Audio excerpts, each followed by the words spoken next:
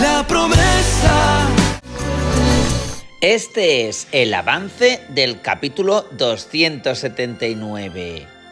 La doncella Hannah está cada vez más sospechosa de su hermano Curro, puesto que se ha dado cuenta que el joven últimamente solo quiere agradar a Alonso. Y este parece que le contará por fin el secreto que está guardando desde que descubrió en la carta de la Ramona que es su verdadero padre.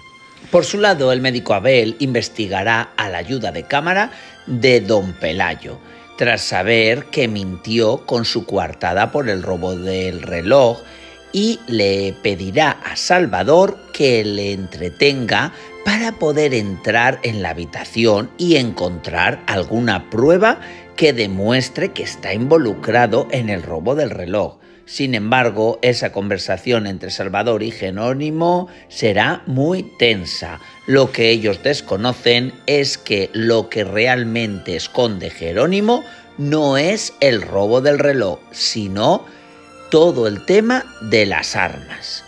Por otro lado, la marquesa se enfrentará a su hijo Manolito por haber volado en el aeroplano. Nuevamente, él no estará dispuesto a dejarse doblegar por su madre y le va a plantar cara. Además, le dirá que no piensa dejar de volar, se ponga como se ponga. Cruz deberá transigir con ello por mucho que le desespere. Y mientras tanto, los roces entre la doncella Jana y la recién llegada Vera se van a incrementar después de que la recién llegada pues haya sido reubicada en la cama donde dormía su amiga María Fernández.